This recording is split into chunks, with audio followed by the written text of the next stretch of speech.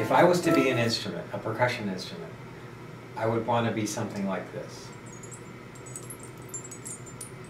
Wind chimes. Any kind of wind chime.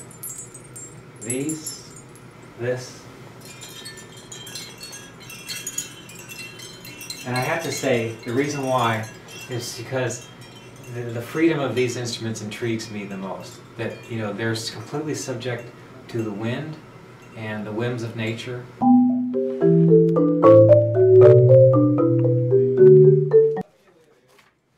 You know, each time we perform music, it is unique to that moment in time. It can never be literally replicated exactly that same way ever again.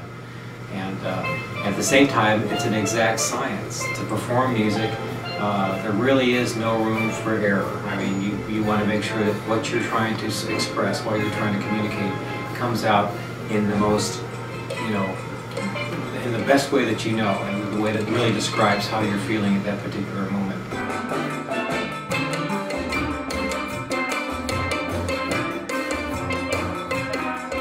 To me, the excitement, the energy of, of those those uh, moments in those in my life, you know, to perform and, and, to convey music, teach music, write music, whatever the case is, those are just better than a cup of coffee in the morning. It just is really a great thing to do. And uh, so again, I, I, can't separate anything else in my life from uh, my aspect of musical life. It is sort of synonymous. Everything I do sort of comes back to music on some level.